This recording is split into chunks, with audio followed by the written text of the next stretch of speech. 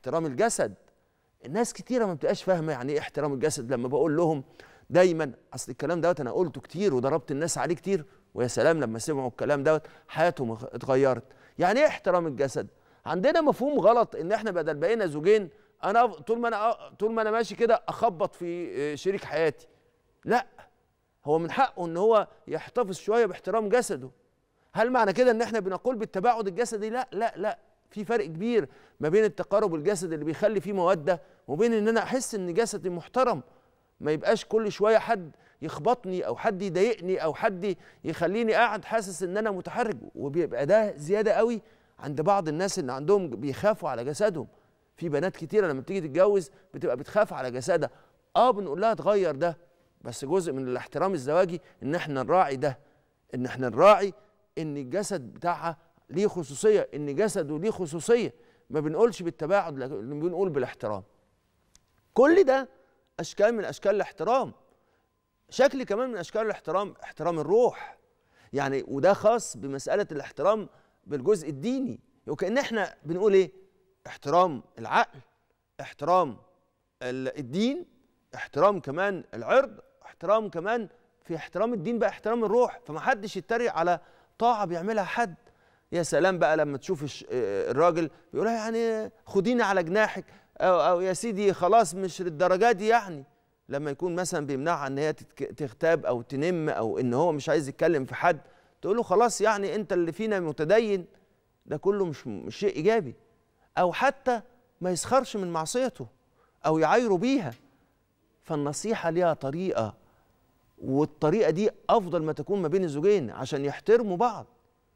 والاحترام المتبادل بقى دوت اللي هو الاحترام الزواج ده لازم يكون متبادل. لو تم بطريقة حرفية وكويسة بيبني الثقة ما بين الزوجين ويفتح بقى ابواب السعادة على مصراعيها. فالاحترام مش بس بإنك تفضل دايما إيه اللي حاصل؟ ما تسقش لفظيا أو جسديا لشريك حياتك. ولكن إنك كمان تظهر التقدير والامتنان والمحبة. وعشان نعرف إزاي نعيش بالمهارة دي عندنا شوية خطوات كده هنعلمها لكم. إحنا في الخطو في, في أي مهارة بنساعدكم إزاي المهارة دي تبقى عندكم بإن إحنا نشرح لكم إزاي تكون موجودة. أول حاجة الاحترام المتبادل. المهارة دي بتشمل شيء مهم جدا جدا إن كل واحد فينا يقدر شريك حياته. يعني إيه يقدر شريك حياته؟ يحترمه كشخصية فريدة.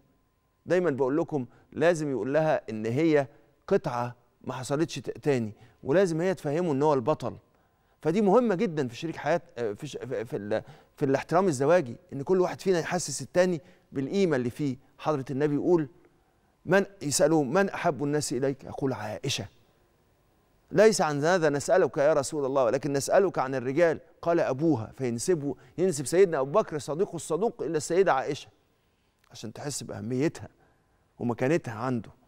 ولذلك لازم نفهم ونتعلم إن التقدير والاحترام ده شيء مهم جدا. وهنا مفيش فرق ما بين الزوج والزوجة فكل واحد فيه كل واحد فيهم محتاج للاحترام. ولهن مثل الذي عليهن بالمعروف. الحاجة التانية بقى الجزء التاني أو الخطوة التانية أو السلوك التاني اللي بيه تقدر تحصل مهارة الاحترام الزواجي الاحترام للخصوصية والحدود. ده معناه إيه؟ معناه إن كل واحد فينا كل واحد من الزوجين يحترم حدود الحدود الشخصية لشريك حياته. فما يتدخلش في, الح... في الأشياء اللي بيفضل شريك حياته إن هو ما يتدخلش فيها. زي مثلا علاقته بأهله ما يجيش يسألها ده مش من احترام الزواج إن أنا أسألها أنت كنت بتقولي إيه لمامتك دلوقتي؟ ولا هي تقول له أنت قلت لاختك إيه؟ ده ليس من الاحترام. احترام الخصوصية كمان احترام الممتلكات. أقول لكم حاجة لازم نعرف إن احترام الممتلكات شيء مهم جدا جدا. في رجالة كتير مراتاتهم لما تقول لهم ما تاخدش مفتاح العربية بتاعتي من غير إذني يتضايق جدا ويعتبر دوت إن هو مش نوع من أنواع الاتحاد.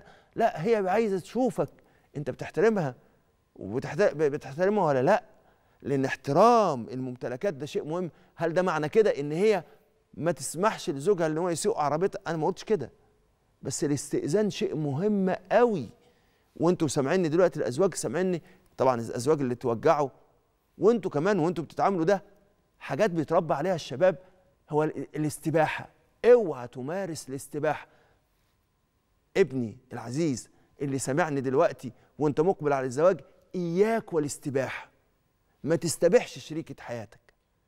وانتوا لو كنتوا عايزين تعدلوا من علاقاتكم الزوجية وتجددوا علاقتكم الزوجية ارجعوا عن الاستباحة. الاستباحة يعني إيه إنك تتصرف في ممتلكات شريك حياتك زي ما أنت عايز. لا ده يأذيه ويضايقه سواء كانت الفلوس سواء كانت الأدوات سواء كانت أي حاجة. أقول لك حاجة في ستات جدا جدا تتضايق لما حد يستخدم معجون السنان بتاعها.